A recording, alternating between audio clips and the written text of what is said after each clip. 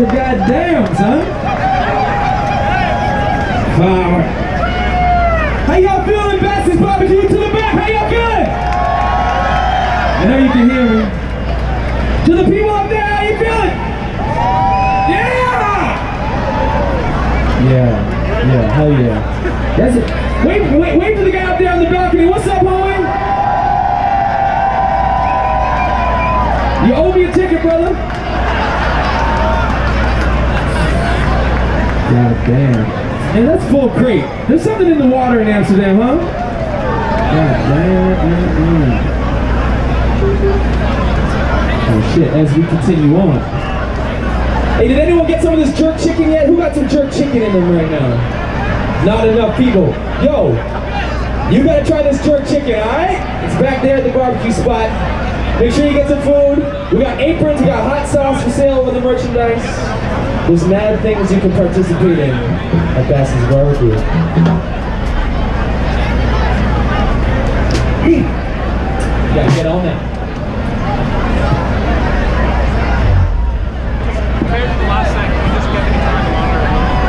Who was here like, um, you know, an hour and a half ago? When, uh, when I brought my friends re.verse to the stage and we set it up. Are you guys ready for re.verse set two? No, no, no, no, no, fuck it. Are y'all ready for re.verse set two? We went a couple different chambers that way. We're gonna go to a couple different ones now. We can go anywhere you want. And we're gonna start. Uh, we're gonna start. It's a combination of Atlanta mixed with Los Angeles by way of the whole damn family and the Alkaholiks plus the EPMD. I'm gonna stop rambling. The music, do the talking. You ready, Danny? Because the bass man gotta start this one.